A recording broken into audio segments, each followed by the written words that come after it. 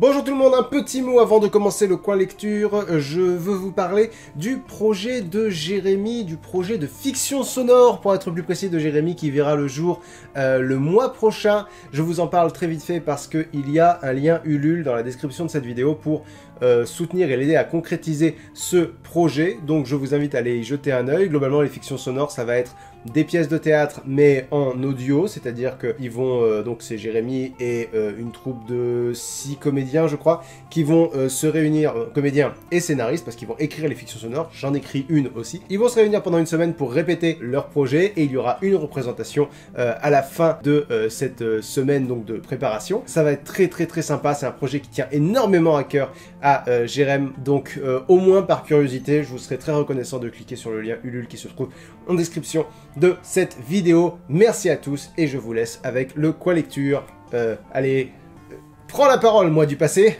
Euh, bonjour tout le monde et bienvenue dans ce nouveau coin lecture de juin Alors, ça a été un mois très particulier parce que j'ai pas été chez moi pendant 15 jours, du 15 au 30 juin. Ça fait que j'ai eu énormément de temps libre du 15 au 30 juin. Euh, pour lire euh, plein de livres. Donc euh, voilà, parce que vous avez vu sur Instagram, c'est Links the Sun sur Instagram, j'ai lu 7 livres. 1, 2, 3, 4, 5, 6, c'est ça. 7 livres euh, ce mois-ci et, et j'ai lu 7 livres du 15 au 30. Et donc vous avez pu voir que j'ai commencé le mois, euh, comme je vous l'avais annoncé dans le, dernier coin lecture, avec Le Seigneur des Anneaux tome 2, les deux tours. Dans ma dernière euh, vidéo, j'ai oublié de mentionner l'auteur du Seigneur des Anneaux et le monteur masqué m'a fait remarquer, dit non, à chaque fois tu précises le, traducteur, enfin l'auteur et traducteur, là t'as bien insisté sur le traducteur, t'as juste oublié de dire que c'est Tolkien qui l'a écrit. Tout le monde sait que c'est Tolkien qui a écrit le Seigneur des Anneaux, bref, et nous avons également euh, le tome 3, Le Retour du Roi. Ceux qui me suivent sur Instagram se sont dit Attends, comment t'as fait pour lire euh, ces deux bouquins dès le début du mois en 4 jours? Du 15 au 30, j'étais à Bordeaux, on y a été en voiture, et pendant le trajet, j'ai mis le livre audio. voilà, le, mystère est éclairci. Et surtout, euh, j'ai écouté euh, les deux tours à l'aller, enfin j'ai écouté les deux tours, non, j'ai écouté le début des deux tours à euh, l'aller, sachant que le livre audio va à peu près deux fois moins vite que moi à la lecture, un peu moins de deux fois moins vite.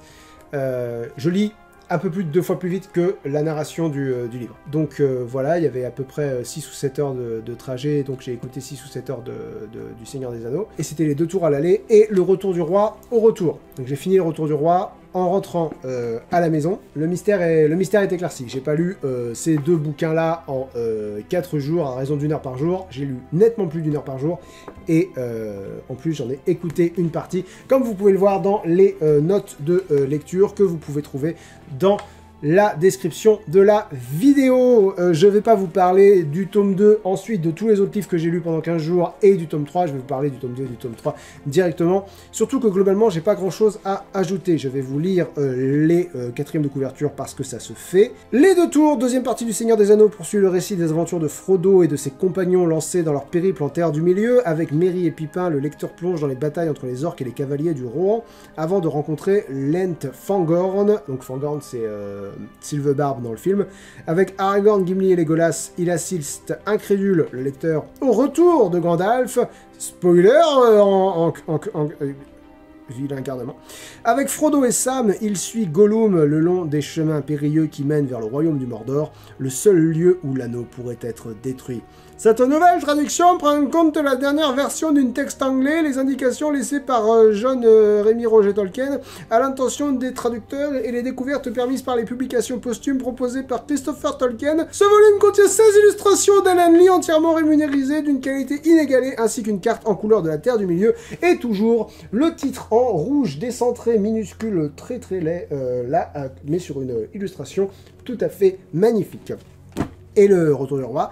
La dernière partie du Seigneur des Anneaux voit la fin de la quête de Frodo en Terre du Milieu. Le Retour du Roi raconte la stratégie désespérée de Gandalf face au Seigneur des Anneaux, Sauron lui-même, jusqu'à la catastrophe finale et au dénouement de la Grande Guerre, où s'illustrent Aragorn et ses compagnons, Gimli le nain, Legolas, l'elfe, les hobbits, Merry et Pipin, tandis que Gollum, le dégueulasse, est appelé à jouer un rôle inattendu aux côtés de Frodo et Sam au Mordor, le seul lieu où l'anneau de Sauron peut être détruit. Cette nouvelle traduction prend en compte... Non, c'est bon. Euh, c'est un A+, les deux. Si je vais être tout à fait honnête, j'ai failli descendre à A dans les deux cas. J'ai posé les livres. Euh, j'ai failli descendre à A dans les deux cas, parce que dans les deux cas, il y a plusieurs passages où je me suis dit... Ah, c'est un peu chiant là, là, c'est, là, là, on s'emmerde un peu. Les deux tours et le retour du roi sont un peu particuliers parce qu'ils sont vraiment scindés en deux. Parce qu'on dit le Seigneur des Anneaux, c'est un ouvrage qui a été séparé en trois. En fait, c'est un ouvrage qui a été séparé en six. Parce que chaque tome contient deux livres. Et donc là, on a les livres 3 et 4 dans Le Seigneur des Anneaux, dans les deux tours, pardon. Et le livre 3 se consacre pratiquement exclusivement à euh, ce qui se passe. J'ai envie de dire, il y a la partie avec Saruman, et le livre 4, c'est la partie avec Gollum. Le livre 3, donc, c'est comment s'en sortent Miri et Pipin qui ont échappé aux, aux orques, et qui vont donc retrouver euh, Lent, euh, donc qui s'appelle Barbebois dans cette euh, version-là. Ils retrouvent Gandalf, qui est donc évidemment c'est sorti de, la Moria. S'il le spoil, je spoil, hein, tant pis. Qui s'est pas sorti de la Moria. Ils, expliquent beaucoup plus clair dans le film, dans le livre que dans le film comment il s'en sort. D'ailleurs, ouais, il y a un point que j'aimerais bien, que j'aimerais bien. On n'arrête pas de dire les elfes, c'est un Deus ex machina. Pour moi, stricto sensu, c'en est pas un du tout. Parce que les elfes ont été très préparés dans les deux, enfin dans toute l'histoire. Ils ont eu plusieurs occurrences où ils viennent sauver quelqu'un. Enfin, pour moi, on n'est pas dans le, on n'est pas dans le Deus Ex Machina. Le Deus Ex Machina, c'est qu'il faut vraiment que ça sorte de nulle part, que ça n'ait pas été préparé du tout. Alors que les aigles, moi, je les trouve très préparés. Je pars du principe que vous connaissez la fin du Seigneur des Anneaux. Qu'est-ce que j'ai d'autre à dire? J'adore le personnage de Prime Branche. J'ai écrit ça, c'est vrai, c'est un ent euh, qui est euh, qui est plus jeune et qui du coup est plus euh, hâtif, dirait, euh, dirait. Il n'est pas hâtif du tout, quoi, c'est juste... il y a Barbebois qui dit, euh, une fois, il paraît même qu'il a répondu à une question alors qu'on n'avait pas fini de la lui poser. Voilà, c'est ça la, définition de la, de la, de la hâte chez les, chez les Ents. J'adore les Ents. Les Ents sont vraiment très très très chouettes. Donc ouais, le passage que j'ai un peu moins aimé, c'est le passage où, globalement, Mary raconte, euh, Mary Haddock raconte la bataille d'Isengard. On n'y assiste pas du tout. On arrive avec Aragorn et Gandalf après les faits, et Mary raconte euh, Ah ouais, vous auriez dû voir ça, il s'est passé plein de trucs. Euh, les Ents, euh, Saruman, euh, Grima, langue de serpent. Adoré le passage avec euh, Grima, langue de serpent et euh, Théoden. Théoden. À la toute fin, il y a une, une notice qui explique comment est-ce qu'on prononce les noms. Donc, Théoden. Le passage de, quand Théoden revient, revient à la lumière est beaucoup plus, beaucoup plus fort, je trouve, dans le livre, parce que c'est plus, euh, c'est plus progressif. C'est pas euh, Flash lumineux de Gandalf et ça va mieux. Gandalf attaque Flash et puis voilà. Euh, non, c'est une prise de conscience vraiment de, de, de, Théoden et je trouve ça plus. J'ai préféré. Mais les films sont quand même vraiment très bien. Hein. Je, je, je, fais pas d'ombrage au film. On est sur un cas vraiment très très très ténu où j'ai trouvé les livres vraiment exceptionnels alors que les films sont juste très bien. Et j'ai pas envie de dire de mal de films qui sont très bien, c'est juste, euh, voilà, il y a plusieurs, euh, enfin, vous m'avez compris. J'ai adoré le personnage de d'Eowyn, que j'ai trouvé vraiment génial aussi. Encore mieux dans le 3, évidemment, parce que vous savez, enfin, euh, vous savez, j'imagine que vous savez ce qui se passe dans le 3, Eowyn accomplit une certaine prophétie. Non, contredit une certaine prophétie. Et ce passage-là est absolument génial. Le personnage d'Eowyn, alors, c'est le... Non, j'allais dire c'est le seul personnage féminin vraiment fort, et Galadriel aussi. Éowyn et Galadriel, l'elfe, sont deux personnages vraiment très très forts euh, du Seigneur des Anneaux. C'est... Je crois que c'est... Enfin, je crois, je me, je, me rappelle que ces deux personnages féminins-là à être vraiment très fort. C'est un peu dommage. Dans les deux tours, euh, l'amitié entre Gimli et Legolas est vraiment très très cool. Parce qu'ils deviennent amis dès qu'ils partent de la forêt de la Lorienne. Et ils sont, euh, ils, sont super potes tout du long. quoi. Ils apprennent pas à se, à se, à s'apprivoiser petit à petit. Dès qu'ils sortent de la Lorienne, ils sont copains. Et c'est jamais contredit euh, après. donc ça c'est cool. Mais je pense que ma, mon, pa mon passage préféré, c'est le livre 4 avec Frodo, Sam et Gollum Gollum qui est un personnage absolument génial. C'est très particulier parce qu'il ne dit jamais mon précieux dans cette tradition-là. Daniel Lozon a traduit euh, My Precious par mon trésor. Il a accès à des documents que j'ai pas, c'est un traducteur de profession, il connaît son taf beaucoup mieux que moi, aucune critique à faire sur le travail de, Daniel Lozon parce que je suis pas du tout armé pour critiquer quoi que ce soit. Le personnage d'Araigne, l'araignée géante dans les romans, je trouve que le film lui fait pas justice du tout. D'ailleurs pour moi dans le film c'était vraiment juste une grosse araignée, c'est-à-dire un gros mob, un sous-boss, un sous-boss de sous-boss, un lieutenant de sous-boss. C'est pas tout à fait ça. Dans le livre, c'est euh, une créature très ancienne, euh, enfin, voilà, c'est elle est nettement plus impressionnante dans le livre que dans le film, j'ai trouvé. Globalement, si vous avez aimé les films, euh, lisez les livres. Ils ont toutes les qualités, ils en ont plus. Si vous n'avez pas aimé les films, ça dépend la raison. Le seul truc qui, qui fait que je peux vous dire ne lisez pas les livres, c'est si vous avez trouvé les films chiants, lisez surtout pas les livres. Parce que c'est, euh, j'allais dire pareil en pire. C'est-à-dire, euh, soit tu rentres dans l'ambiance, soit tu rentres dans le truc, soit tu rentres pas. Et si tu rentres pas, euh, essaie pas de rentrer dedans, c'est encore plus difficile. Personnellement, j'ai eu aucun effort à faire pour rentrer dedans, c'est-à-dire que je suis, je suis, je me suis laissé porter par la narration et c'était un plaisir quoi, un plaisir, un plaisir de, un plaisir de chaque instant. Donc voilà, à plus pour celui-ci et à plus pour celui-là aussi, donc qui raconte la bataille à Minas Tirith, sauf erreur de ma part, et après euh, Aragorn, euh, Aragorn et compagnie. Alors Aragorn, il est euh, les films ont fait ce qu'ils pouvaient, hein, mais Aragorn, c'est c'est le, le héros. Il, est- il, a toujours le bon mot, il est toujours là, il est toujours juste, bon. Il est même tellement bon que des fois, ça lui pose problème. C'est genre, quand il estime qu'il est pas assez bon pour être roi, et ben il part sur les routes pour aller aider la, la, la veuve et l'orphelin, parce que voilà.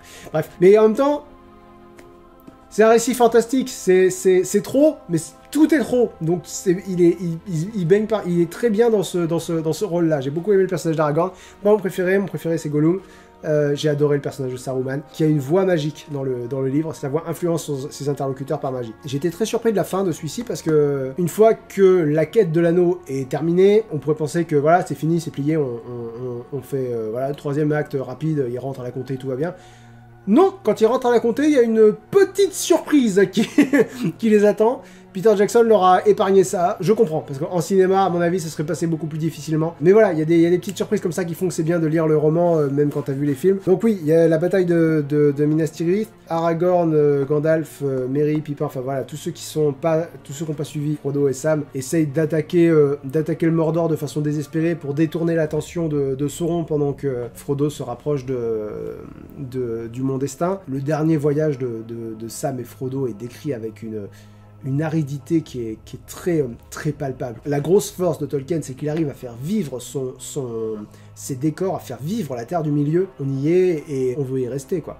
Parce que ils sont tous héroïques, ils ont tous leur... euh, c'est brillant. Je regrette pas une seconde de l'avoir lu, c'est vraiment, vraiment très très très bon. S'il y avait un truc que j'avais envie de dire, c'est incroyable que tous les noms ont changé dans la traduction. C'est-à-dire que euh, Daniel Lezon a pas gardé un seul...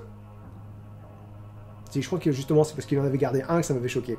Dar, l'épée de euh, l'épée de Frodo, l'épée que Bilbo laisse à Frodo. C'est exactement le même nom et je me suis dit tiens c'est rigolo c'est le même nom.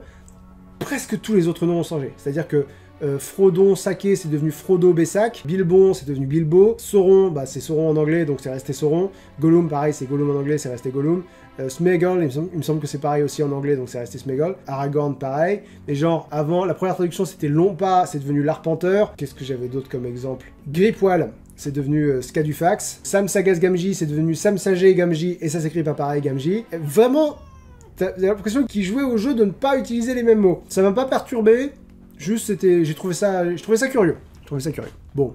Euh, globalement, voilà. Globalement, c'est une très très chaude recommandation. Je pense que mon préféré des trois, c'est toujours le premier, mais un vrai plaisir. Et je, pense que je prendrai le temps de les relire un jour. Transition difficile euh, vers le livre de l'un d'entre vous qui s'appelle Alexis Malaisé, Légende d'Isseria, tome 1 de la chute d'Yggdrasil. Je vous lis le quatrième de euh, couverture. Nathan Sylvain, un elfe rejeté des siens, cherche des réponses à sa situation. Il ne se doute pas que ces réponses ont un prix, un prix qui va l'amener à se battre pour la survie de son monde. Aidé par un voleur aveugle et un nain enjoué, Nathan va devoir faire face à de nombreux problèmes, à commencer par la chute d'un arbre légendaire. Alexis Malaisé a deux passions dans la vie, le basket et la lecture. Mettez, pas ça dans votre pari. Poussé par une personne proche, il a commencé à écrire des histoires souvent sombres qui incitent à une réflexion sur les personnages qu'il met en scène dans le but de débuter une réflexion sur soi-même. La première histoire qu'il a commencé à écrire alors qu'il n'avait que 12 ans vous est présentée ici. Je vous lis ce que j'ai écrit dans mes notes de lecture que vous pouvez trouver dans la description de la vidéo. Le roman s'achève inexplicablement, sans, sans résolution et par The End. Il a écrit littéralement The End à la fin. Je pense que ça ne vaut pas le coup que je mette une note. Si je devais en mettre une, ce serait un E ou un peut-être un E+, mais c'est un roman immature quand il n'est pas carrément puéril. C'est un, c'est un, un constat euh, dur, mais c'est vrai quoi. Mais dès le quatrième de couverture, tu le sens venir. Nathan Sylvain quoi. Un elfe qui s'appelle Nathan. Tu sens vraiment que tu as affaire à quelqu'un de très jeune. Tu vois, il a écrit 12 ans. Je dis, bah oui, ça fait, ça, fait euh, commencer à être écrit à, à 12 ans. Il n'y a, pas de maîtrise, quoi. Il n'y a pas de maîtrise de, du style, il n'y a pas de maîtrise de, des idées. Globalement, euh, Nathan est un être euh, mi-vampire, mi-elfe. Et il est rejeté des elfes parce qu'il est à moitié vampire, qui n'a pas vraiment de sens parce que son comportement n'a absolument pas changé. Dès le départ, il y a une présentation du monde, ce que je vous ai dit qu'il fallait éviter de faire. C'est-à-dire, euh, bonjour à tous, je vous souhaite la bienvenue dans le monde d'Isseria. Vous allez entrer dans un monde où le fantastique fusionne avec la réalité.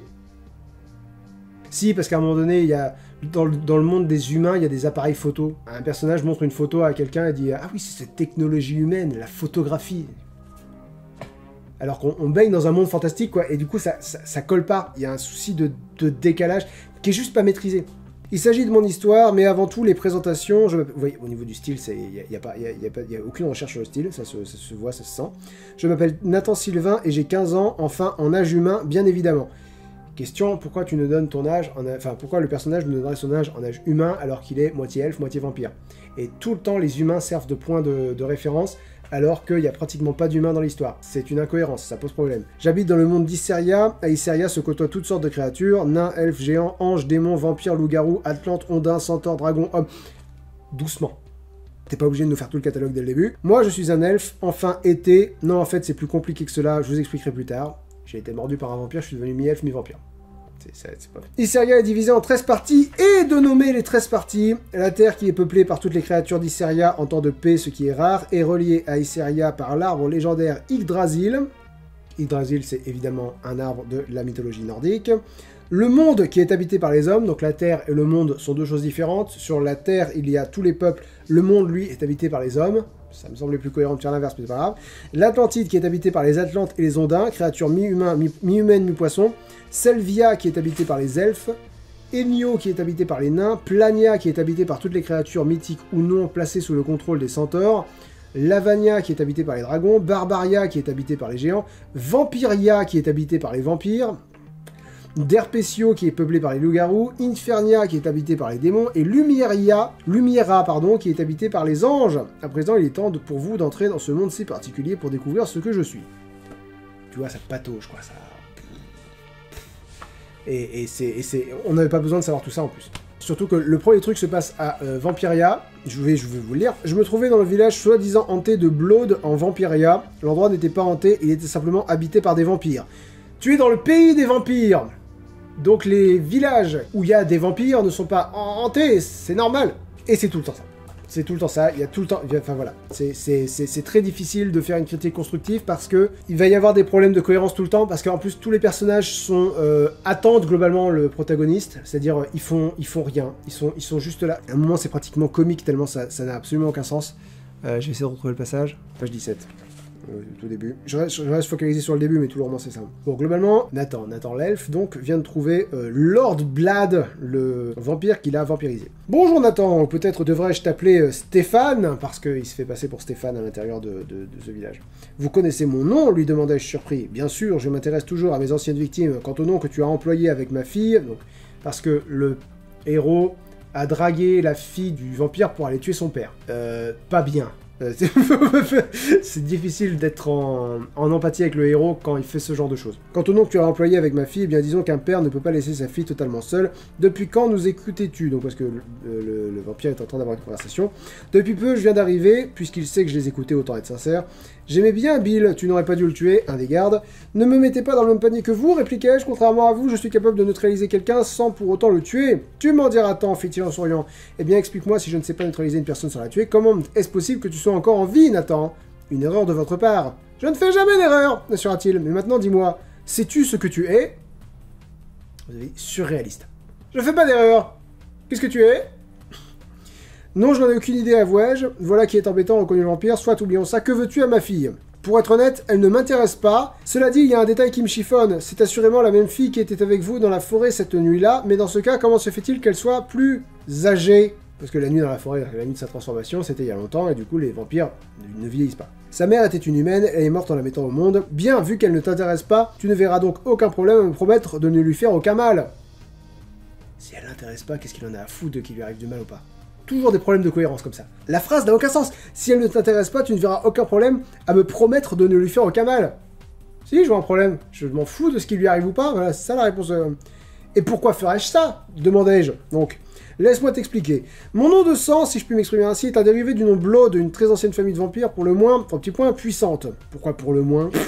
Ce qui nous donne à m'aligner à moi-même une puissance légèrement supérieure aux autres vampires, comme si la puissance était un truc que tu pouvais évaluer sur une euh, règle graduée. Venez-en au fait, le coupage ennuyé, merci beaucoup. Les vampires gagnent en puissance au fur et à mesure que le temps passe. Durant les trois premiers siècles, cela peut sembler amusant, mais après un millénaire, beaucoup d'entre nous, les anciens, commençons à être de plus en plus puissants jusqu'à être pratiquement invincibles. Et c'est là que cela pose problème. Quel problème? Vous ne voulez plus vivre? ironisais-je c'est tout à fait cela, la vie, comme tu dis, finit par devenir ennuyeuse, banale et parfois même répétitive. C'est pourquoi nous nous livrons à des trois petits points expérience.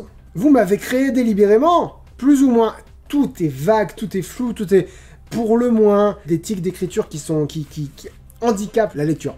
Disons simplement que je cherchais à trouver une personne avec assez de haine envers moi pour vouloir me supprimer. C'est là que tu interviens. Deux possibilités s'offrent à nous, enfin plutôt à toi. Pourquoi à nous, enfin plutôt à toi Pourquoi juste à toi? Bref, ou nous nous entretuons et je te montre toute la supériorité des anciens, ou, ou nous utilisons un moyen plus, trois petits points, subtil. Tous ces points de suspension, ça me rend dingue. Expliquez-vous, lui demandai-je sur la défensive.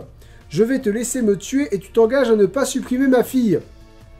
Et pourquoi je ferais ça? demande euh, Sylvain. Euh, Nathan. Parce qu'en contrepartie, je t'indiquerai un endroit où retrouver un vieil ami qui pourrait peut-être connaître ta race. C'est un elfe vampirisé. Et en plus, à la fin, il se rend compte qu'il n'y a pas de nom pour ça. Et donc, il se nomme lui-même. Parce qu'en contrepartie, je t'indiquerai un endroit où retrouver vieil ami. Tout ce que je veux en échange, c'est que tu me jures de ne pas supprimer ma fille. Et qu'est-ce qui vous fait croire que je vais tenir ma parole? Je peux très bien vous le promettre, vous tuer puis supprimer votre fille. Tu peux très bien ne rien lui promettre du tout. Tu ne le feras pas, tu es quelqu'un d'honnête. Alors, marché conclu, il me tendit la main. C'est d'accord, lui répondis-je. Pourquoi, en regardant sa main, je ne ferai aucun mal à votre fille? Je le jure sur mon honneur d'elfe. Décidément, tu es très buté. Il abaissa sa main que je n'avais pas serrée. L'auteur prend la peine de nous expliquer que il a tendu la main, mais il l'a pas. Tu trouveras le vieil homme à la frontière, blablabla. Adieu, Lord Blad. Je sortis un pieu fabriqué à partir de la forêt où j'habitais et lui plantai dans le cœur. Je sortis de la maison et me dirigeai vers l'endroit que le vieux vampire m'avait indiqué. Tout ça n'a servi à rien et n'aura aucun impact sur la suite du roman. C'est-à-dire que même la fille du vampire n'en veut pas à Nathan d'avoir tué son père. Elle va même, même tomber amoureuse de lui, comme ça. C'est difficile de, de- de- dire quoi que ce soit. Donc eux, limite eux plus, euh, parce que, bon bah, t'as as essayé de créer un monde, et ça c'est bien, mais euh, un monde où se côtoient différentes mythologies, mais il n'y a rien qui est maîtrisé, quoi. Bref, j'ai pas grand chose à dire de plus, j'en ai peur, je suis désolé, ça n'a pas été très constructif. Il y a encore beaucoup de travail. Il y a encore beaucoup de travail avant d'arriver à quelque chose de, de- d'agréable à lire, on va dire ça comme ça. De construit, juste. Ensuite, nous avons Hellraiser de Clive Barker, traduction de Mélanie Fazi, donc qui a été, euh, qui est l'œuvre adaptée au cinéma par euh, son auteur, c'est-à-dire que c'est Clive Barker qui a réalisé le film Hellraiser, le film avec euh, le fameux méchant Pinhead. Le roman à l'origine du film culte. Il avait enfin résolu le puzzle de la boîte de Le Marchand, il se tenait sur le seuil d'un nouveau monde de sensations exacerbées. D'ici quelques instants, les Cénobites qui ont passé l'éternité à la recherche de la sensualité ultime seraient là. Adieu monétisation, c'est à peine connu. Ils allaient pouvoir lui révéler les secrets les plus sombres qui le transformeraient pour toujours. Mais avec les plaisirs les plus exquis viendront une douleur sans pareille. Afin d'échapper à ses tortionnaires et de retourner dans son monde, il allait avoir besoin de l'aide de sa belle-sœur Julia, la femme aimait, la femme qu'il aimait, qui elle apostrophe aimait, pas la femme que lui aimait, la femme que qu'il aimait lui. Oh putain. Mais par-dessus tout, il allait avoir besoin de sang. Un livre qui marquera par son intensité, écrit Imagina Rock, tentateur, sournois et fascinant, écrit Sci-Fi Universe. C'est un C+, c'est un C+, mais qui euh, porte très mal sa note parce que il est bien écrit, il est bien. Le truc c'est qu'il est vraiment pas pour moi. C'est con ce que je vais dire, mais il est d'un sinistre. Tu vas me dire oui, c'est Hellraiser. Tête de con, tu t'attendais à quoi exactement? Euh, Oui, j'aurais pu le voir venir. Le truc, c'est que Hellraiser, le film, il y a un côté, à défaut de pouvoir dire mieux, il y a un côté fun dans Hellraiser. Mais qui passe surtout par les effets visuels, qui passe par, euh, tu sais, espèce de fascination pour le gore, genre, ah, c'est dégueu. Ben voilà, Euh, les, les effets visuels sont super inventifs, et du coup, c'est crade, mais c'est crade... c'est crade ingénieux. Et du coup, pour moi, il y a une part de plaisir qui est tirée de l'ingéniosité de, de la fabrication du film. Là-dedans, bah, du coup, ça, ça passe pas. Il n'y a, a pas ça. Et euh, tout, est, tout est très lourd, quoi. Tout est très... euh, si vous connaissez pas le, le- le film, c'est pas tant que c'est gore, parce qu'il y a des films qui sont gore et qui, qui sont... euh, gore, ça peut être marrant. Gore, ça veut pas dire grand-chose. Là, c'est gore glauque, quoi. Et tout est glauque. Ce qu'il n'y a pas écrit sur le quatrième de couverture, c'est coup, c'est que c'est l'histoire d'un couple, Julia et son mari, j'ai oublié son nom. En plus, il y a un nom différent dans le livre et dans le film. Est-ce qu'il dit son nom? Je prends des notes, mais je devrais faire des fiches. Franck euh... C'est un nom très compliqué, c'est pour ça que je l'ai pas retenu. Retenu Franck, c'est le euh, frère du mari euh, de Julia, qui s'appelle... Euh, oh, qu'on va appeler Roger, je crois que c'est un nom R. je vais dire Roger, est-ce que j'ai bon? En plus, il y, a, quatre personnages dans celui-là. Hein. Rory Rory est le mari de Julia, et le frère de Franck. Et il y a Christy aussi.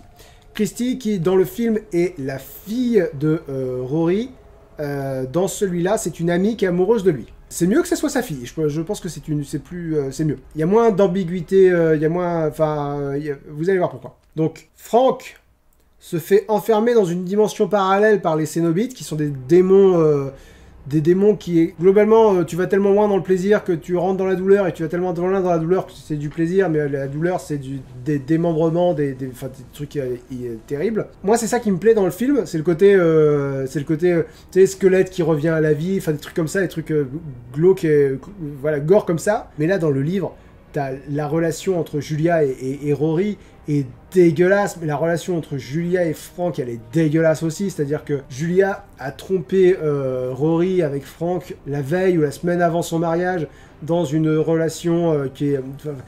il n'y avait pas de relation, c'était juste un, voilà, c'était juste un, acte sexuel qui est décrit genre. Euh, la description, c'est genre le consentement à part qui avait tout d'un viol, qui avait l'absence de joie et de et de je sais pas quoi d'un viol. Enfin voilà, on est sur du glauque, du glauque. Euh, mais Julia veut retrouver ça parce qu'elle se fait chier avec Rory. Et tout le roman est d'une, lourdeur comme ça, où il n'y a rien qui y va, où tout le monde fait la gueule. Évidemment, Franck, il n'est pas amoureux de Julia, il en a rien à foutre de Julia, il veut juste retrouver, euh, retrouver la vie. Euh, et pour ça, il a besoin d'avoir du sang. Donc du coup, Julia va chercher des inconnus pour ramener du sang à euh, euh, son, son, amant qui est un corps en putréfaction qui commence à reprendre figure humaine. J'ai noté un passage pour que vous vous, fassiez une idée du style.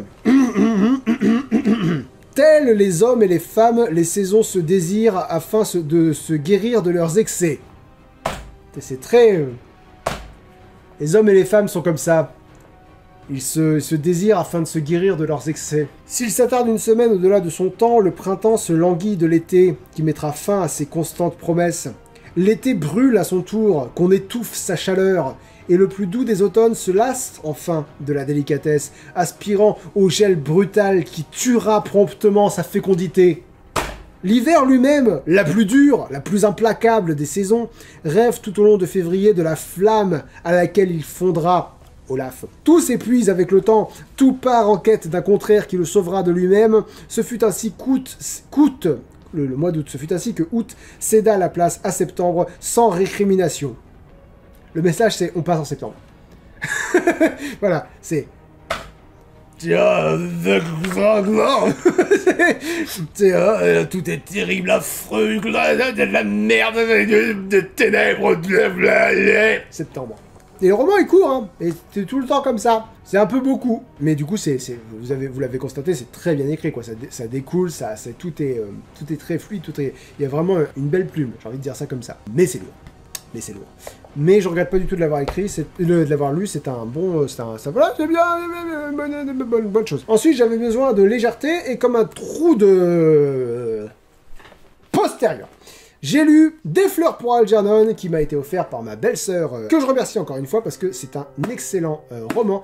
Des fleurs pour Algernon de Daniel Keyes, Keys, Keyes, traduction de Georges Gallet. Algernon est une souris dont le traitement du professeur Nemur et du docteur Strauss vient de décupler l'intelligence. Enhardis par cette réussite, les savants tentent avec l'assistance de la psychologue Alice Kinyan d'appliquer leur découverte à Charlie Gordon, un simple d'esprit. C'est bientôt l'extraordinaire éveil à la conscience pour le jeune homme, il découvre un monde dont il avait toujours été exclu et l'amour qui naît entre Alice et lui achève de le métamorphoser, mais un jour les facultés supérieures d'Algernon commencent à décliner. J'aurais pas résumé le truc comme ça, c'est un A-, mais j'ai écrit dans mes notes de lecture, c'est un A- qui va devenir un S un jour, je pense. Je pense que c'est un roman qui va me suivre euh, dans ma vie, parce que pour moi, S c'est ça. S c'est ce roman fait partie de ma construction en tant que personne.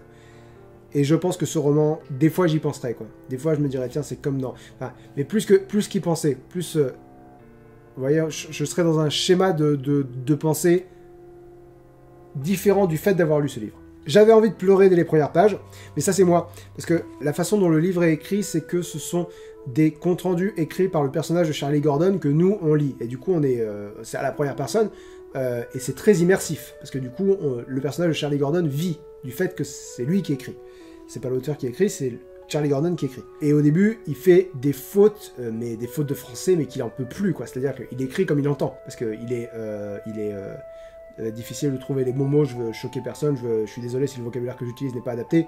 On va dire qu'il est déficient mental, je pense que ça, ça peut se dire. J'espère que je choque personne en disant ça. Et donc voilà, il fait des fautes, euh, il fait des fautes d'une autre planète, genre compte rendu, euh, compte euh, C-O-N-T-E, rendu R-A-N-D-U, et c'est les premiers mots du livre. 3 mars, le Dr Strauss dit que je devrais écrire tout ce que je pense et que je me rappelle, et tout ce qui m'arrive à partir de maintenant. Je sais pas pourquoi, mais il dit que c'est important, important, un plus loin important, pour qu'ils voient s'ils peuvent m'utiliser. J'espère qu'ils m'utiliseront pas, que Miss Kinyan dit qu'ils peuvent peut-être me rendre intelligent. Je m'appelle Charlie Gordon et je travaille à la boulangerie. boulangerie, il a pas fait de faute, c'était tellement mignon. Boulangerie, il fait pas de faute parce qu'il il y travaille et du coup, il a, on, peut, on, imagine qu'il a, qu'il du coup, il sait l'écrire parce qu'il l'a vu plusieurs fois et du coup, il a bien mémorisé que boulangerie s'écrivait comme ça. Euh, la boulangerie d'honneur, Monsieur d'honneur me donne 11 dollars par semaine et du pain ou des gâteaux si j'en veux.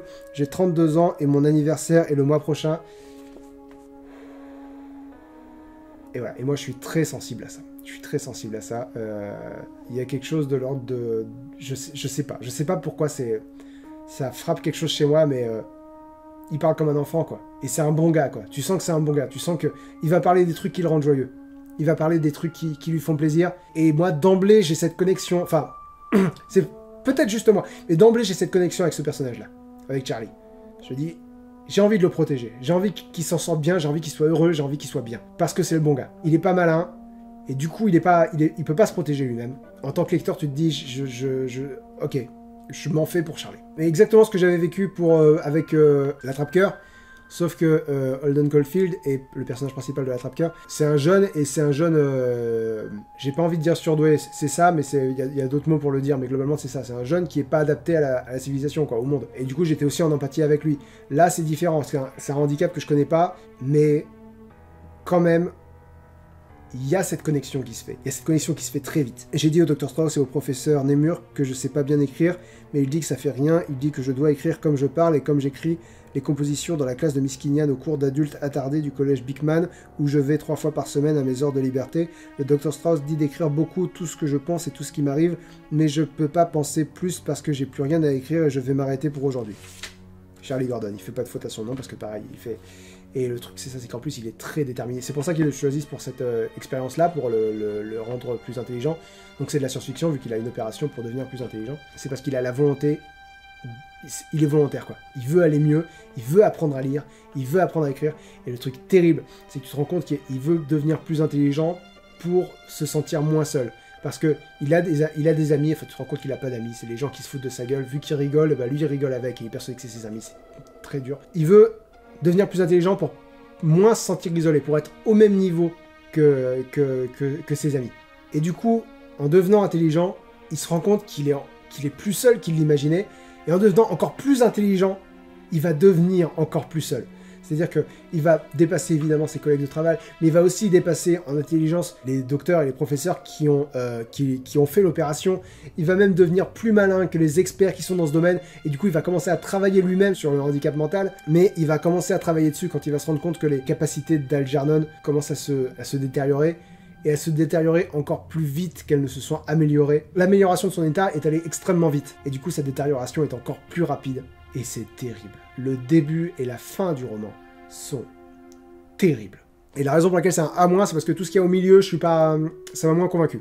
C'est-à-dire que je sens que l'auteur a essayé de, placer des théories sur l'inconscient, sur la psychologie d'une façon générale, peut-être sur Dieu aussi. Je sens qu'il essaye de faire passer des messages et ça m'a un peu refroidi, quoi. Ça m'a un peu refroidi. Et surtout, le personnage de Charlie Gordon, en, vieilliss- en devenant plus intelligent, devient aussi moins, moins aimable. Et il y a quelque chose de très... euh, quelque chose...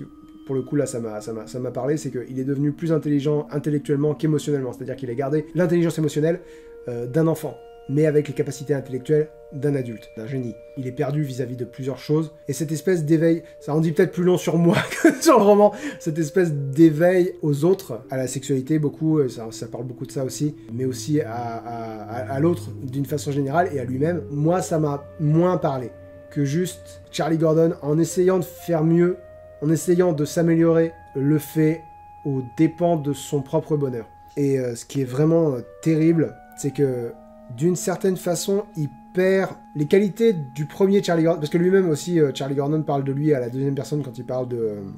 à la troisième personne quand il parle de son état de base, parce qu'il devient tellement différent qu'il a l'impression que c'est une autre personne. Les qualités du Charlie Gordon original finissent par s'étouffer dans ce nouveau Charlie Gordon qu'il est en train de devenir. Et du coup, son entourage aussi commence à. mais aussi à être jaloux de lui, parce qu'il est, il est plus intelligent, mais du coup, il devient un peu arrogant. Et du coup, c'est pas agréable. Et ils se disent euh, T'étais pas arrogant quand t'étais. Euh, enfin, avant, avant ton opération. Et en fait, c'est pas, pas tant qu'il est arrogant, c'est qu'il est, il, il, il, est seul, et il est en colère, et il a peur. Et en particulier, quand Algernon, la souris, commence à montrer des signes de, de démence non seulement plus être capable de résoudre les, les, labyrinthes, euh, mais même à, à, plus savoir bouger, enfin voilà, à être, euh, à se cogner contre les murs, à, bah, devenir démente, quoi, tout simplement, et qui a fini par mourir, euh, Algernon. Lui rentre dans une spirale où il essaye de régler son problème. Il consigne tout ça. Il publie un article sur l'effet qu'il appelle l'effet Charlie Algernon Charlie ou Charlie Algernon, je sais plus, parce qu'il sait que c'est inévitable. Il sait qu'il va, qu'il va sombrer. On devine que après ça, il sera plus intellectuellement capable d'écrire, ce qu'il était au début, sa dernière pensée, sa toute dernière pensée, c'est d'une part au professeur Nemur euh, pour lui dire euh, vous devriez laisser les gens, euh, vous devriez rire plus avec les gens. Comment il dit? Attendez, je vais vous le lire, ça va être plus simple. PS, dites s'il vous plaît au professeur, parce qu'il est en train de parler à, Miss Kinyan, qui est sa prof, dont il, est, dont il était amoureux avant l'opération, et puis il va développer cet amour, il va, comprendre cet amour en grandissant comme ça. PS, dites s'il vous plaît au professeur Nemur de ne pas être si grognon quand des gens rient de lui et il aurait plus d'amis. C'est facile d'avoir des amis si vous laissez les gens rire de vous. Je vais avoir beaucoup d'amis là où je vais parce qu'ils vont le, mettre dans un, établissement spécialisé. Et le deuxième, PS, si par hasard vous pouvez mettre quelques fleurs, s'il vous plaît, sur la tombe d'Algernon dans la cour. Sa dernière pensée, je vais pleurer. Cette dernière pensée, elle est pour son... Oh, oh fais pas chier C'est difficile, c'est super difficile. Cette dernière pensée, elle est pour la seule amie, la seule vraie amie qu'il a été capable de se faire dans ce processus-là, qui est cette souris. Et euh, c'est terrible. C'est peut-être le livre que je vous recommande le plus de ceux que j'ai lus euh, ce mois-ci, parce qu'il est, il est, euh, il est. Je sens que pour moi il y a un avant, a un après. Voilà, je peux pas vous dire mieux. Et je vais arrêter d'en parler. Le sorceleur Ah, le cul de... Comment il s'appelle Non, je parlais, du... je parlais de l'acteur. Henri Cavill, voilà. Le sorceleur livre 1, le dernier vœu de... Mais je vais jamais y arriver. En, en André Sarkovski, c'est comme ça que ça se prononce? Sarkovski Traduction de Laurence Dièvre. À travers les plaines arides et les montagnes escarpées des royaumes du Nord, un homme avance seul, lui et son incroyable boule. En ces temps obscurs, il est l'un des rares... en ces temps obscurs, il est l'un des rares à ne pas craindre les terribles créatures qui croisent sa route, car Gérald de Rive est un sorceleur, un mercenaire initié au code de... Ah, mercenaire initié, j'ai sauté une ligne, un personnage... Un mercenaire initié au secret d'une ancienne magie il suit son propre code de l'honneur dans un monde qui a oublié le sien avec l'espoir inavoué de réaliser son dernier vœu, retrouver son humanité. André Sapkowski en Pologne en 1948 dans la saga du sorceleur succès mondial traduit en 34 langues, on s'en fout complètement. Il y a un jeu, je sais pas si vous êtes au courant. Donc, évidemment, la saga a été adapté en jeu vidéo. Trois euh, volets sont faits de ma part euh, à ce jour. Je sais que le troisième volet a reçu d'excellentes critiques et tous les gens dont j'ai entendu, entendu en parler en disent du bien. J'ai pas encore eu euh, le plaisir d'y jouer, ça ne saurait tarder. Il a été adapté en série sur Netflix avec donc Henri Cavill dans le rôle titre. J'ai pas été, j'ai pas été convaincu par la série. Je l'ai trouvé très brouillonne et pas assez. pour moi, le personnage de Yennefer dans la série est nettement plus intéressant que le personnage de Gérald de Rive et tu sens qu'il te manque des clés pour comprendre. C'est un mauvais travail d'adaptation là pour le coup, tu sens que tu comprends mieux si tu as lu le livre et joué au jeu. Me dit euh, Camille qui a eu une grosse période Le Sorceleur, qui a acheté presque toute la saga euh, en roman, qui a fini euh, le jeu, presque fini le jeu. Elle ose pas le finir parce que elle arrive, arrive pas, elle arrive pas à finir le jeu parce qu'après ça le jeu sera fini et c'est triste. Bref, c'est bien, c'est un B. Alors, contrairement à ce que je m'attendais, c'est un recueil de nouvelles. C'est-à-dire qu'il y a une trame euh, comment euh, globale. Il y a une histoire qui a eu lieu sur plusieurs. euh, bah, celle qui s'appelle le La Voix de la Raison. Donc là, vous voyez, ça commence la, la Voix de la Raison. Enfin, non, vous voyez rien, c'est trop loin. Mais La Voix de la Raison 1 et ça va jusqu'à La Voix de la Raison 7. À chaque fois, entre chaque nouvelle, on revient à l'histoire qui se passe dans La Voix de la Raison. Chaque nouvelle est liée à l'intrigue racontée dans La Voix de la Raison par des anecdotes. C'est-à-dire qu'il va parler de tel personnage et il va se rappeler telle aventure qu'il a vécue avec tel personnage. Il va parler de tel monstre, il va se rappeler telle aventure qu'il a vécue avec tel monstre. Et du coup, chaque nouvelle est... euh, Ce que j'ai écrit, l'adaptation en jeu vidéo est d'une évidence confondante. Parce que c'est des quêtes, quoi. Il raconte des quêtes, et en plus, il place des personnages et une mythologie, mais le roman a pas vraiment de fin. Et il a pas vraiment de début non plus, c'est-à-dire que... Mais comme un jeu vidéo, t'arrives dans le jeu vidéo, t'arrives dans l'histoire, prenez Skyrim, t'arrives au milieu de l'histoire, c'est-à-dire que ton personnage, il a vécu avant d'être arrêté par les impériaux, et à la fin, euh, bon, certes, il y a la fin, alors, mau- mauvais exemple pour Skyrim, parce qu'il y a la fin de la guerre civile, il y a la fin d'un certain nombre d'arcs, que dans celui-là, bah, il y a la fin des nouvelles, il y a la fin de chaque histoire, mais... Vous voyez Skyrim, mais si tu fais que les quêtes secondaires, voilà, on va dire ça comme ça. Donc, vraiment, l'adaptation en jeu vidéo était, était une évidence, et l'adaptation en série, Je comprends qu'ils aient voulu le faire. C'est aussi une bonne idée, c'est aussi un bon support. Mais à un moment donné, à un moment, donné, t'allais te heurter à euh, une série, ça doit avoir un début, un milieu et une fin aussi. Et euh, j'ai l'impression que ça fait ça un peu défaut dans la série. Mais bon, je vais pas vous parler de la série, je vais vous parler du livre. Mais globalement, à part il est bien, j'ai vraiment pas grand chose à dire. Ça se lit très facilement, le style est très, euh, un peu, un peu précieux, un petit peu, mais pas suffisamment pour que ça soit vraiment une grosse. quelque chose que tu remarques beaucoup. C'est pas un style complètement neutre, mais c'est un style qui se, qui passe, quoi, qui, se laisse lire. On va dire ça comme ça. Les personnages font vivant. Je vais sans doute lire la suite. Ça m'a suffisamment intrigué pour euh, que je veuille lire la suite. Le personnage du sorceleur est très bien, euh, très bien nuancé. Il n'est caricatural dans aucun, euh, dans aucune de ses caractérisations. Il est un peu bourru, mais pas trop. Il est discret, mais pas, pas muet. Il est viril, mais sans être sans être macho, quoi, si vous voulez. Il est, enfin voilà, il est, il est bien équilibré. J'aime pas du tout ce qu'ils ont fait de Jaskier dans la série. Je reviens toujours à la série, hein, je suis désolé, mais le personnage de, de Jaskier est beaucoup plus, euh, beaucoup moins, beaucoup moins Olaf. On, on y revient. Je sais pas ce que j'ai avec Olaf aujourd'hui. Il fait moins, il fait moins guignol, quoi. Il est léger. Lui, par contre, il est macho. Il est très, euh, voilà. Mais ils sont vraiment amis. Ça aussi, j'aime bien qu'ils soient vraiment amis dans le roman plutôt que ce soit le début d'une amitié improbable, euh, comme raconté dans la série. Qu'est-ce que j'ai à dire de plus Euh, Ça raconte le début de, l'histoire d'amour entre euh, Geralt et Yennefer que je trouve beaucoup plus euh, compréhensible dans le livre que dans la série aussi. Je pense que je lirai la suite.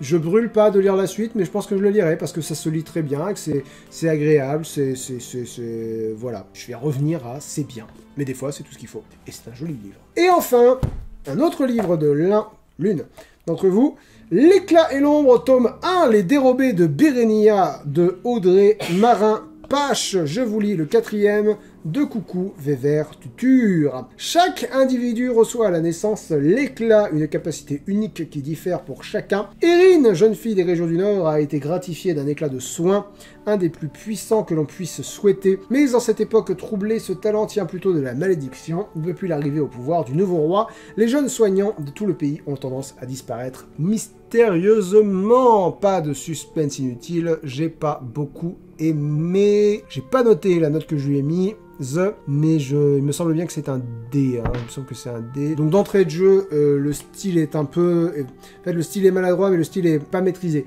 Mais c'est différent. C'est pas une, c'est pas une absence de maîtrise. Genre, je vous raconte les choses telles qu'elles arrivent. C'est tu sens qu'il y a eu un effort de fait sur le style, mais pas suffisamment mal guidé. La volonté d'écrire comme un roman a été mal guidée. Je pense notamment au fait qu'il y a plein d'adverbes en ment, tu vois, qui alourdissent la lecture. Ça a l'air un peu automatique comme conseil, mais c'est vrai. Vous allez voir, les adverbes en ment, à chaque fois, sont... euh, vous allez voir, il fait noir, il fait froid, où suis-je? Je me redressais vivement, l'effort m'arrachant une grimace, la tête me tournait violemment, j'avais la gorge sèche, une profonde angoisse s'empara de moi, j'avais l'impression d'émerger d'un mauvais rêve pour tomber dans un autre pire encore. Le mur derrière moi était glacé, je m'en écartais en frissonnant, peu à peu mes yeux s'habituèrent à l'obscurité, m'en dévoilant suffisamment pour que je prenne conscience de la gravité de ma situation, de point j'étais dans une cellule. Et tu vois, la construction de la phrase, je... je vais vous parce que moi, je serais pas surpris que je vous ai perdu, parce que moi je me suis perdu dans la phrase. Peu à peu mes yeux s'habituèrent à l'obscurité, m'en dévoilant suffisamment, tu vois, m'en dévoilant suffisamment, donc me dévoilant suffisamment de l'obscurité, m'en dévoilant suffisamment pour que je prenne conscience de la gravité de ma situation. Ça va, la phrase va dans tous les sens. Comment suis-je arrivé là? Des bribes de souvenirs me revinrent, je marchais seul dans les rues de mon village, de retour d'une soirée à la taverne pour fêter la réussite de ma deuxième année de formation. Mon groupe d'amis s'était réduit peu à peu au fur et à mesure que chacun regagnait la chaleur de son foyer, moi, j'avais un peu plus de route à parcourir et terminais donc seul le trajet. C'est trop long pour décrire quelque chose qui est relativement simple et c'est un peu lourd, quoi. Mon groupe d'amis s'était réduit peu à peu au fur et à mesure que chacun regagnait la... Juste pour dire que elle était accompagnée au début, elle finissait seule, il y a moyen de raconter ça de façon moins lourde. La maison de mes parents, un peu à l'écart du village, était encore à quelques centaines de mètres de moi. Je marchais tête baissée, me protégeant au mieux du vent cinglant, la tête ailleurs, me repassant les bons moments qui venaient de s'écouler. Tu vois, les, groupes entre virgules, là, le, je marchais tête baissée, me protégeant au mieux du vent cinglant, la tête ailleurs, me repassant les bons moments. En plus, enfin, la phrase ne sert aucun intérêt, elle est hyper alambiquée et à chaque fois elle est coupée par des... Euh, des euh, ah, c'est quoi le mot que je cherche? Je crois que c'est subordonné le mot que je cherche, mais je suis pas sûr. Euh, mes souvenirs de primaire sont très loin. Tu vois, ça hache un peu le style et ça, ça, ça alourdit le, propos. Là, c'est purement des questions de style. Je pense que les questions de style sont importantes, surtout chez les jeunes auteurs. Donc je, fais, je, fais, je, le fais remarquer dans un souci d'exhaustivité. et il y a un passage où j'ai été très, euh, très euh, explicite dans mes notes, enfin très complet dans mes notes sur un exemple qui pose problème, mais c'est un exemple et c'est tout le temps comme ça. Le style est vraiment problématique. Ai-je écrit là, je lis. Donc là, c'est euh, page 14. Et puis les choses ont changé en douceur et en même temps très rapidement. Il y a d'abord eu ce ministre retrouvé assassiné durant l'été dernier. Vu la construction de la phrase, j'écris Je m'attends à ce qu'on me parle de ce ministre. C'est lui le point de départ, c'est lui qui est important. Phrase suivante il, a, il a bien sûr fallu le remplacer. Et on parle ensuite de la nomination étrange de son successeur. Ça aurait été plus efficace de construire le début de paragraphe sur la nomination de son successeur. Quelque chose comme tout a commencé avec la nomination d'un parfait inconnu du nom de Rezen au poste de ministre. Point, son prédécesseur avait été retrouvé assassiné dans des circonstances euh, curieuses. Là, c'est qu'un exemple et je prends le temps de détailler mon ressenti, mais c'est presque une phrase sur toi, 3, 4 ou 5 comme ça. C'est-à-dire qu'à chaque fois, il y a un problème de construction, un petit problème, un petit, c'est juste euh, une subordonnée entre virgules qui est mal placée, qui alourdit le propos, un participe présent là où il aurait dû y avoir un point et ensuite une autre phrase, ce, genre de choses. Ça alourdit pas mal le style et c'est dommage. Et sans parler du style, j'ai vraiment eu un problème aussi avec l'histoire, dans le sens où c'est très A, B, C, D. C'est-à-dire que euh, je peux résumer le roman en, deux phrases, sans vraiment enlever de trucs importants. C'est-à-dire que Le Seigneur des Anneaux aussi, je le, le résume en deux phrases, et si je le résume en deux phrases, je passe à côté de plein de choses. Que là, si je le résume en deux phrases, franchement, je passe pas à côté de grand-chose je passe à côté de la caractérisation de certains personnages, mais l'essentiel du, propos sera, sera résumé. Elle se fait kidnapper euh, par des gens parce qu'elle a un pouvoir de soin et que le roi, euh, enfin oui, enfin, oui, on va appeler ça le roi, le tyran, a besoin de, soins. Elle apprend que chez certaines personnes, ils n'ont pas que un éclat, ils ont deux éclats. C'est expliqué très maladroitement par euh, une chanson qui dit que les élus, ceux qui sont dignes, ont deux pouvoirs euh, plutôt qu'un. Et tu vois, à chaque fois, tu laisses pas ton roman respirer. À chaque fois, on a la démonstration d'un deuxième pouvoir. Oh, bah qu'est-ce que c'est, dis donc? Elle vient d'utiliser un pouvoir qui n'a rien à voir avec le sien. Et, euh, genre, quatre pages après, il va y avoir un personnage pour dire Ah oui, ça c'est parce que y a, certaines personnes ont deux pouvoirs. Et à chaque fois, c'est les résolutions sont instantanées. Et tout le roman, c'est ces gens-là qui vont aller attaquer le roi. Et je te raconte pas ce qui se passe à la fin, mais voilà, il y a un twist à la fin. Mais un twist qui a pas beaucoup de poids parce que ce twist repose sur des personnages qui nous ont à peine été euh, présentés vraiment. C'est-à-dire qu'on n'a jamais pu être en empathie avec les personnages parce que les personnages se résument à un nom, un pouvoir et finalement ont assez peu de relief euh, à côté de ça. Et c'est euh, voilà, c'est un peu dommage. La construction des personnages n'a pas été très. Euh, l'adjectif qui me vient, c'est intéressant. On ne s'attache pas aux personnages. Les personnages ne sont rien, quoi, si tu veux. Les personnages n'ont pas de, volonté, d'ambition, même pas de caractère, vraiment. Genre, il y a un moment, moi, qui m'a, personnellement, qui m'a un peu choqué. C'est la protagoniste se rend compte qu'elle a un pouvoir de contrôle mental, et un soir, alors qu'elle est, qu'elle est bourrée, elle essaye d'utiliser ce contrôle mental pour faire qu'un garçon l'embrasse. Le mec le fait pas parce qu'il a aussi ce pouvoir-là et qu'il est mieux entraîné. À sa place, je l'aurais extrêmement mal pris. On est de l'ordre de euh, forcer quelqu'un à euh, faire quelque chose qu'il n'a pas envie pour son propre plaisir. Et je me dis, lui ne réagit pas à ça, elle ne réagit pas à ça, Elle, se dit juste Oh, j'ai essayé de draguer, j'ai pas réussi. Enfin voilà, c'est d'une, légèreté, d'une, superficialité qui aide pas à être investi dans le, dans le roman. Donc voilà, ah, j'ai écrit page 31, un autre exemple de la petite vanne à ne pas faire, parce que c'est un des points sur la, parenthèse euh, 20 conseils aux jeunes auteurs, c'est un point qui pose souvent problème parce que je dis que je j'ai pas envie de citer d'exemple. Je vous dis, faites en sorte que vos personnages ne parlent pas par petites vannes euh, ironiques parce que c'est euh, c'est d'un creux, euh, à la fois un creux créatif, un creux artistique, mais aussi un creux humain. C'est-à-dire que c'est vraiment le truc que tu fais quand t'as rien à dire et que t'essayes de de remplir ton vide avec quelque chose. Donc là, j'ai été page 31. Voilà. Euh, donc elle a été, euh, elle a été kidnappée et elle se réveille dans un bateau. Salut Erin, dit-il, pas trop de mal. Je fis non de la tête, je regardais autour de moi, un espace mal éclairé, bas de plafond. Bien que de taille moyenne, j'étais forcé de courber les chines pour ne pas heurter les poutres du plafond. Ah oui, non mais deux fois plafond, d'accord. J'étais en train de me dire j'ai peut-être mal lu. Non, non, deux fois plafond. Il y a plein de fautes, mais ça c'est, euh, c'est, pas l'auto-édition. Disons, c'est pas loin de l'auto-édition. C'est pas de l'auto-édition. Ça a été édité aux éditions Archancourt. Donc c'est pas de l'auto-édition. Les maisons d'édition, c'est très particulier. Je- je vais vous raconter une anecdote. Il y avait un livre que j'avais lu et dont j'avais parlé dans un coin lecture, mais je tenais un propos dedans qui pouvait être mal interprété. Du coup, j'avais envoyé la vidéo en, non répertorié à l'auteur euh, de, ce roman-là, en lui disant euh, voilà, euh, là j'ai dit telle chose, je veux bien que ce soit clair que c'est ça que je voulais dire et pas ça, parce que tu pourrais le comprendre, tu pourrais mal le comprendre. Je vais pas retourner toute la vidéo, elle est déjà uploadée, donc je vais pas, j'ai pas envie de mettre un mot, mais voilà, juste histoire que tu saches, je veux que ça soit clair avec toi au moins. Globalement, l'auteur a contacté la maison d'édition en question et je refuse d'avoir des romans de cette maison d'édition euh, pour ça depuis. Je ne vous dis pas quelle maison d'édition c'est, ni l'auteur, ni quoi que ce soit. Bref, l'auteur a contacté la maison d'édition qui euh, l'a encouragé à me menacer de porter plainte pour euh, cette critique en question. La critique, vous l'avez pas eu parce que je l'ai viré de la vidéo. Heureusement que je l'avais envoyé en non répertorié avant parce que sinon j'aurais eu de gros problèmes. Et depuis, je suis très tiède pour parler de, du travail d'édition. Je suis très tiède pour dire ou suggérer quoi que ce soit. Ce qui est dommage, parce que je pense que c'est un travail très euh, ingrat, l'édition. Je pense que les éditeurs euh, travaillent beaucoup, mais investissent beaucoup, euh, mettent beaucoup de danger. J'ai beaucoup de respect pour les éditeurs. Mais voilà, depuis mon, mon expérience malheureuse avec cette maison d'édition-là, si vous avez écrit un livre qui a été édité par eux, je refuse votre livre. Sans même chercher à savoir, sans même chercher à... Je dis non. Je refuse d'avoir affaire à eux. Donc voilà, mais ce, n'est pas les éditions Archancourt, qui, j'en suis sûr, sont très gentils, très bien. Juste, là, tu vois, euh, bas de plafond, bien que de taille moyenne, j'étais forcé de courber les chines pour ne pas heurter les poutres du plafond. C'est des erreurs que, enfin, c'est des voilà, des erreurs que je m'attends plus à trouver dans de l'auto-édition. C'est peut-être une façon bien de le dire. C'est pas ce que je voulais dire. Je voulais vous donner un exemple de la petite, petite vanne à ne pas faire. Salut Erin, dit-il, pas trop de mal. Plafond, plafond. En guise de lit, quelques tas de paille humides dans un coin. Un peu plus loin, un seau pour les besoins pressants. Voilà tout le luxe de l'endroit. Charmant voyage en perspective Dacia hocha la tête, l'air sombre. Ouais, sur ce genre de raflure, il faut compter une dizaine de jours pour rallier la capitale si l'on ne crève pas euh, ici avant.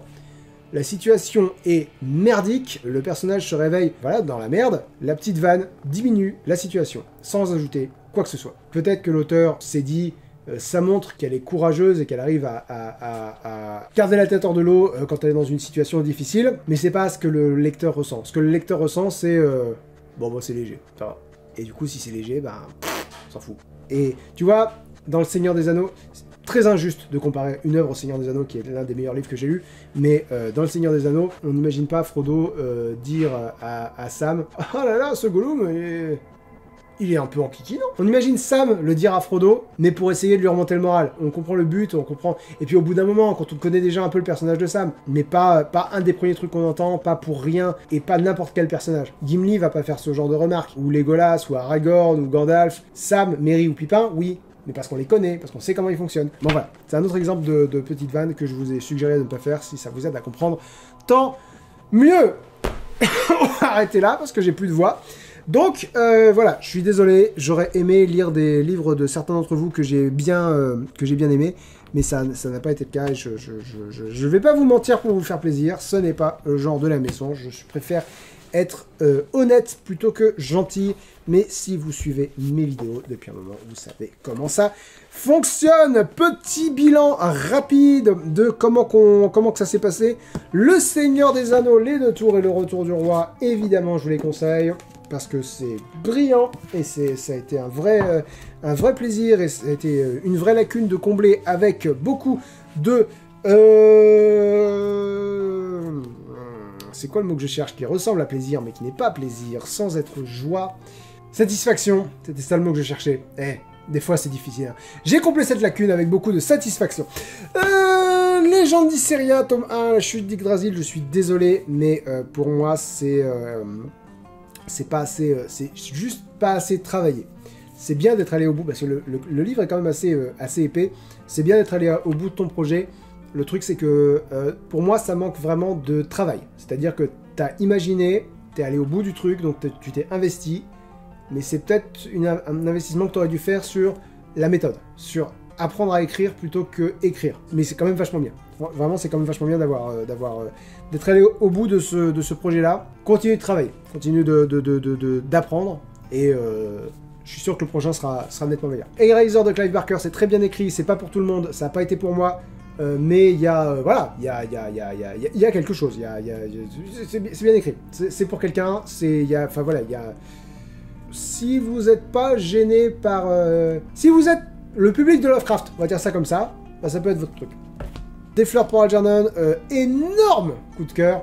Euh, je, je peux pas trop vous le suggérer, ça a été un- une sacrée découverte. Je le relirai. En plus, c'est un roman qui est adapté d'une nouvelle du même auteur. Je regarde là parce que la nouvelle est à la fin du roman, je lirai peut-être la nouvelle. Quand j'en suis sorti, j'avais plus envie d'y rentrer parce que c'était triste, j'étais triste. Donc, donc voilà, mais je lirai peut-être la, nouvelle histoire de voir le travail. C'est aussi un travail d'adaptation intéressant, comme un, un auteur transforme une nouvelle en roman. Euh, bref, je, vous, le suggère, je vous le suggère énormément celui-ci. Et c'est un des piliers de la SF, je l'ai pas dit, mais c'est voilà, euh, Le Sorceleur tome 1, une bonne découverte, j'étais content, je, voilà, je, me projette bien de, à lire la suite, à voir euh, évoluer l'histoire entre euh, Geralt et Yennefer, mais aussi voir ce qui arrive à, à, à Jaskier, enfin voilà, voir... retourner dans ce monde-là qui est, qui, est, qui, est, qui est intéressant. Je repense à un truc que j'ai pas dit, là je le dis vite fait. J'aime bien le côté euh, savant de, de Geralt, c'est-à-dire que j'aime bien le côté... euh, il sait les trucs et c'est comme ça qu'il s'en sort. C'est-à-dire c'est pas un bœuf, c'est un, un connaisseur. C'est un gars qui fait... euh, qui, qui connaît son métier, qui fait bien son métier. C'est un truc que j'aime bien chez, chez Geralt. Et enfin, L'éclat et l'ombre, tome 1, Les dérobés de Berenia. Pas grand chose à dire, malheureusement. C'est un style qui, c'est un style que j'ai vu, que j'ai, beaucoup vu. Quand on pouvait aller au Geek Ferries, il y avait des, des stands de, jeunes maisons d'édition. Et c'était souvent, euh, c'était souvent un peu ça, quoi. C'était souvent un peu euh, de la fantaisie euh, accessible. Parce que le, livre a, bon, a, de bon, a de bonnes critiques sur, sur Internet. C'est peut-être moi, peut-être moi qui suis chiant, hein. mais euh, voilà. Je, écoutez, il y a un public pour ça. Si c'est votre truc, si vous aimez les livres de fantasy euh, de jeunes auteurs, voilà, on peut dire ça comme ça. Euh, ah oui, il y a un truc que j'ai pas dit sur ce, ce livre-là et qui est très très beau. C'est que l'auteur, bon, moi je dis l'auteur E-U-R-E, euh, là il y a écrit l'autrice. Les deux se disent. À l'oral, c'est le même mot.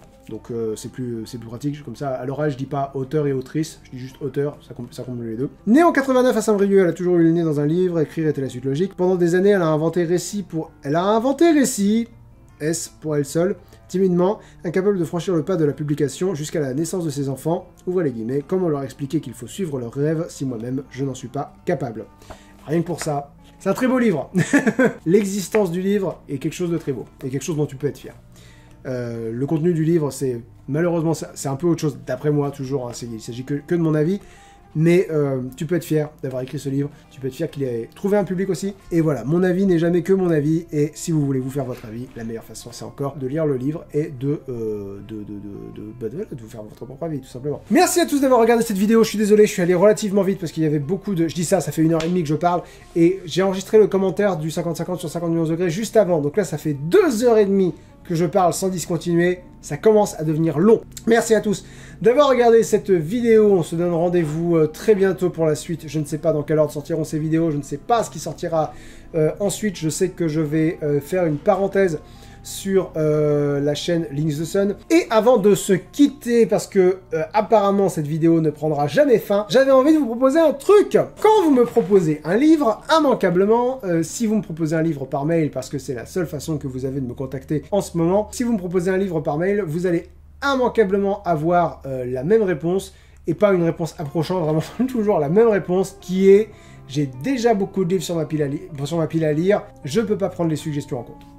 Tout à fait impossible. Mettons, j'ai déjà 100 livres à lire et on m'en suggère peut-être 10 par jour. Si je prends en compte les suggestions, je, me noie, je me noie sous les livres. Mais ce qu'on va faire, un mois, je sais pas quand, pas le mois prochain parce que j'ai déjà commencé mes lectures pour euh, juillet, mais euh, peut-être août ou peut-être après, mais on fera ça euh, un, un certain mois, et ça sera en se, basant, en se basant sur les commentaires qui sont sous cette vidéo. J'ai pour projet, j'espère faire, je pense faire, un mois spécial vos suggestions. Alors, comment ça marche? Vous me suggérez des livres dans les commentaires de cette vidéo, pas ailleurs, pas par mail, pas par... euh, voilà, parce que ceux-là, je les prendrai pas en compte, je continuerai à vous dire, je prends pas en compte ces suggestions-là, mais euh, dans les commentaires de cette vidéo, vous me suggérez des livres, et je verrai ceux qui reviennent le plus souvent. Comment ça revient le plus souvent? Quelques... C'est pas vraiment des règles, c'est plus des suggestions pour éviter que... Je vous explique comment je fonctionne pour que ça soit plus efficace pour vous, si jamais il y a un livre qui vous tient vraiment à cœur. Je vais lire les commentaires évidemment, sinon ça n'a aucun intérêt, mais je vais su- surtout, je vais aussi et surtout me baser sur les commentaires les plus likés, parce que pour moi, c'est une façon simple, efficace et euh, directe de voir quels sont ceux qui sont vraiment le plus suggérés, le plus soutenus si vous voulez dans les suggestions. C'est un peu comme des votes quoi. Donc ce que je vous suggère, c'est de mettre en commentaire les livres que vous voulez euh, me voir euh, aborder dans cette émission. Pas 50 Genre, ne mettez pas dans un commentaire, je veux que tu lises ça, ça, ça et ça, parce que euh, du coup, les gens, euh, je, je sais pas lesquels vont être le plus. Je sais pas quel like va correspondre à quel livre. Et en un mois, euh, là, j'ai lu 7 livres, c'est assez exceptionnel. Je crois que c'est un record pour un, coin lecture, hormis vos livres, hormis les mois spéciaux vous. Généralement, je lis entre 4 et 5. Ça peut aller jusqu'à 6 romans, rarement plus. Donc, suggérez-moi un livre, pas une saga, parce que ça, ça va venir, je le sens. Pas euh, Lis les disques mondes de Terry Pratchett. Non, un livre. Je le dis, c'est pas une règle, c'est juste que si vous suggérez une saga, je vais regarder, je vais me dire non, je vais pas euh, lire 7 livres en un mois et rien lire d'autre, c'est pas possible. Donc, le premier tome d'une saga, éventuellement, et plutôt que de recommenter, vous pouvez recommenter, mais plutôt que de recommenter, je serai vous, je likerai les posts où votre euh, suggestion est déjà exprimée. Euh, parce que certes, vous pouvez commenter et liker le, le- le- commentaire qu'on parle déjà, c'est juste que je pense à ceux qui viendront après, s'ils voient euh, que le, livre que vous voulez suggérer a déjà été suggéré une fois, euh, ils vont peut-être arrêter de lire en se disant ok ça a déjà été suggéré et du coup peut-être que vous allez éparpiller les votes. Donc c'est pas très voilà c'est pas très c'est pas pas pas pratique quoi on va dire ça comme ça. C'est juste des conseils histoire d'être sûr que ça se fasse le mieux possible. Je sais pas quel mois on fera ça, mais je me dis que ça peut être une bonne façon de pas jeter toutes vos su- suggestions dans la bine. Je peux dans la bine dans la corbeille, j'ai pas le temps, je peux pas. Je, voilà. Donc, histoire d'en faire quelque chose, je me dis, ça peut être bien de faire comme ça. Voilà. On va donc s'arrêter là. Grosse vidéo, hein, grosse vidéo, deux grosses vidéos d'affilée. Merci à tous d'avoir regardé cette vidéo, j'en peux plus. J'ai juste envie de boire un petit peu d'eau. À très bientôt pour la suite, que ce soit sur Links of Sun ou sur Linksoft. Prenez soin de vous, et à la prochaine tout le monde. Ciao